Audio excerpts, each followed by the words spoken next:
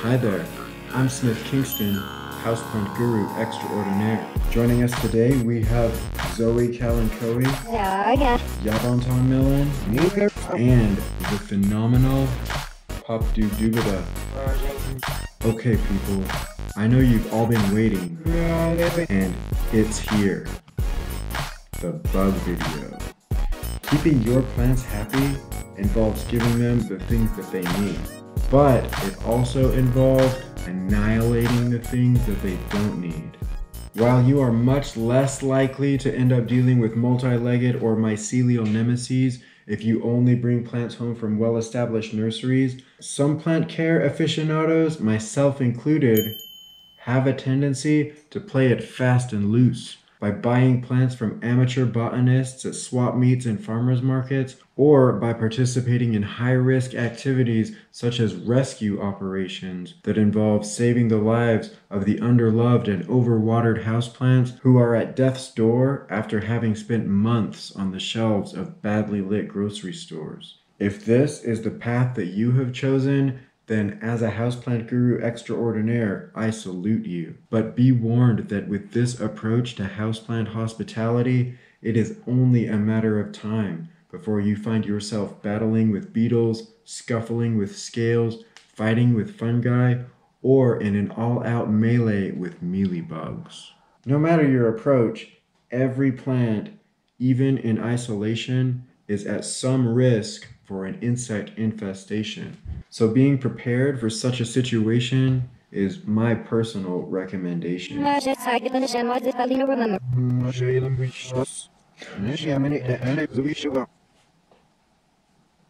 Look, if you're watching this video because you've already got a problem, then fighting this fight may seem overwhelming. And hey, let's be real here, it can be tricky. But luckily for you, this houseplant guru extraordinaire knows the difference between what is tricky and what is impossible. The home defense method outlined in this video is effective against a wide variety of common multi-legged houseplant enemies, including red spider mites, white flies, mealybugs, fungus gnats, aphids, and scale. While some of these pests can be treated a little bit more effectively with other more specifically targeted pesticides, this approach is quick, easy, inexpensive, and only requires the use of chemicals that are relatively safe to use indoors compared with other types of pesticides. The tools and or ingredients necessary for this method are a one gallon home and garden pump sprayer, some water, 3 cups of a 70% solution of rubbing alcohol, regular non-concentrated Dawn dish soap, and a label maker. Eh, no, that's lame, okay? This is gonna look way cooler. Hey, my handwriting is immaculate, okay? And also, when you're a graffiti writer, you don't have handwriting, you have hand style, which is gonna look a little bit messy and be slightly more difficult to read, especially for a freaking Kalanchoe. That's probably accurate. Now, real quick about the sprayer, there's a good chance that you own one of these already and it might be tempting to just use the one you have. That's cool, but be absolutely sure that your sprayer has never housed any kind of weed killer. If you have any doubt as to the history of chemicals that have made their way through your sprayer, then I highly recommend just going and getting a new one. Even though your intentions may be pure, the slightest residue of Roundup or Ground Clear may be enough to ensure that this pesticidal treatment is the last care you ever offer to your leafy, bug-ridden friend. I don't want to talk about it. now, these chemicals aren't that dangerous, but it still might be kind of fun to suit up. First, dump the three cups of rubbing alcohol into your empty home and garden sprayer, and then fill the bottle to just below the one gallon max fill line with water. Then add 3 tablespoons of dish soap and give it a stir, not a shake. Save the soap for last in order to avoid dealing with foam.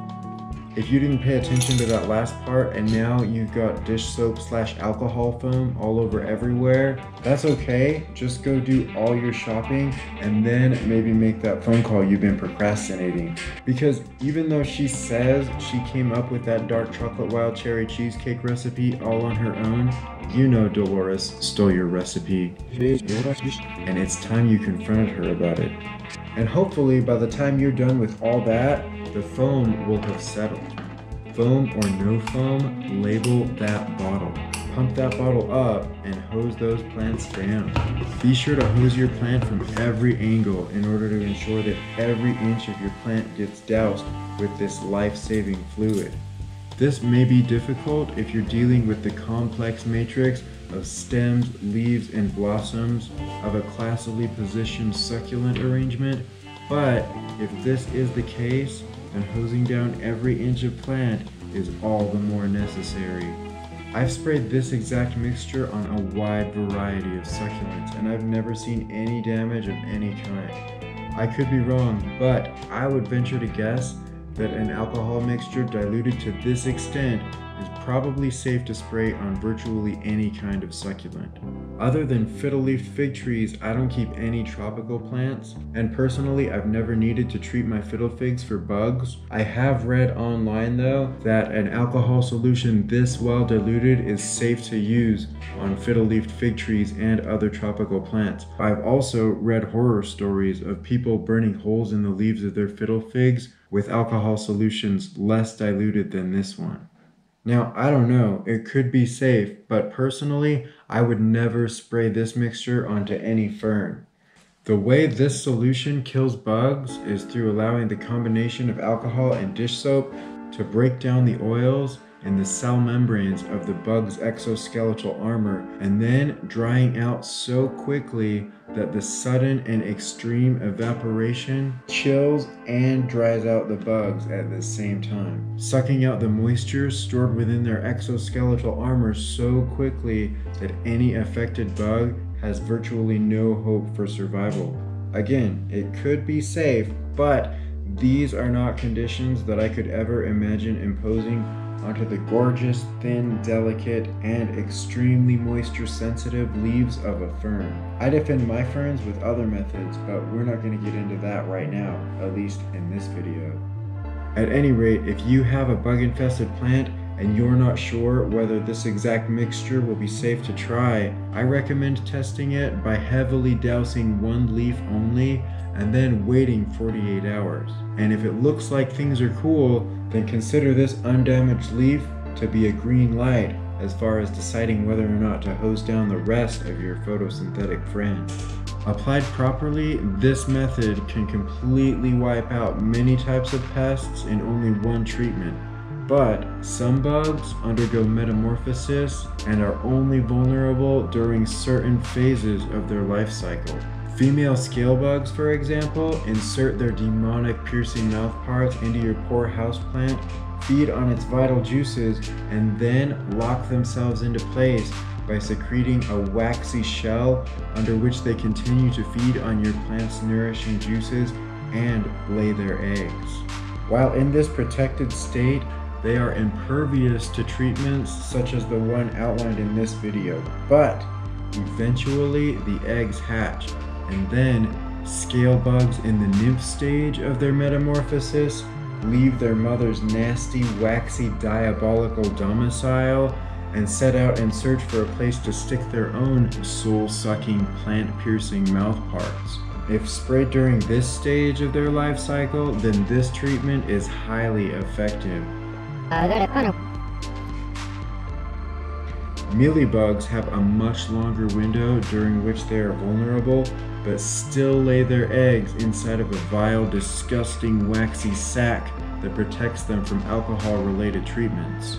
Because of the overlapping generations of mealybugs and scale, it's a good idea to treat any plant infected with either of these two kinds of pests at 4 to 7 day intervals over the course of about a month, with shorter intervals for heavier infestations.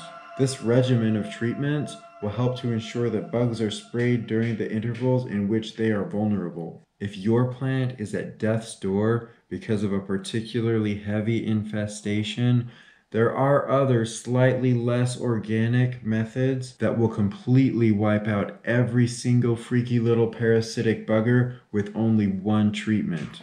I'm not going to tell you how to live your life, but for me personally, if it's a choice between losing a plant and being a little bit less organic, then I say show me the chemicals. But it's better to avoid this situation than to deal with it and this is best achieved through constant vigilance. Find out which type of insect affects your specific species of houseplant, learn to recognize them, and then look for signs of an infection every time you water your plant. Hey, listen. Do you like bad graffiti, worse jokes, wacky macrame, and pretty good advice about how to take care of your houseplants? Well then subscribe. That's right. Click that notification bell too so you never miss a new video.